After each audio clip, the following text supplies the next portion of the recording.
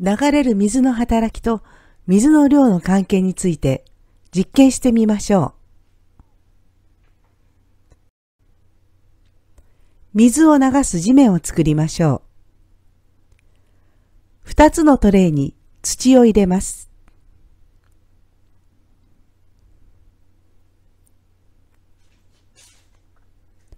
これを手で鳴らして水を流す斜面を作ります。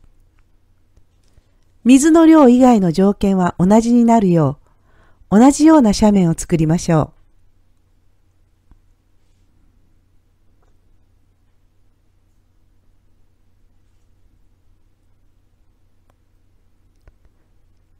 水の量が調節できるように、ペットボトルに穴を開けて準備しておきます。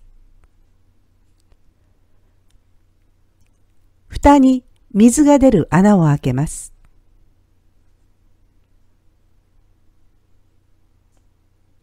ペットボトルの上の方には空気穴を開けておきます。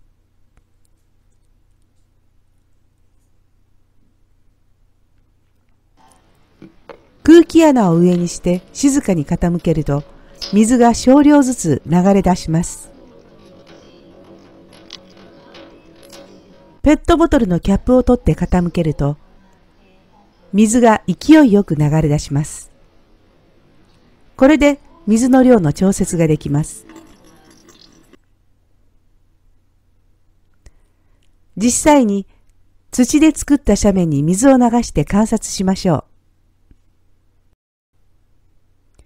水の量を少なくする場合は、キャップをつけましょう。多くする場合は、キャップを外しましょう。こうして水の流れ方と地面の様子を観察します。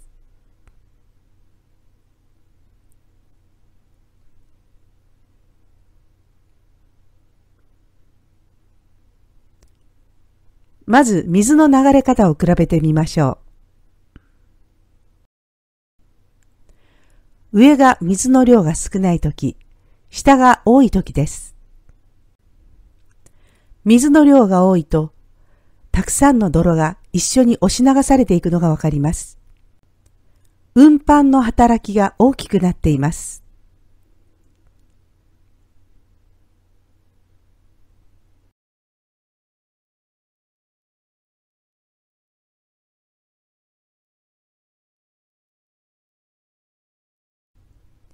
今度は地面の様子を比べてみましょう。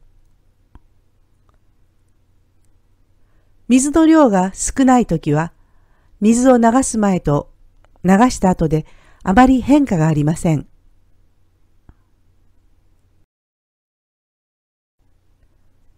水の量が多いときは、斜面の部分の土がなくなり、侵食の働きが大きくなっていることがわかります。また、平らな部分には、たくさんの土が流れ出て、積もっています。体積の働きが大きくなっていることがわかります。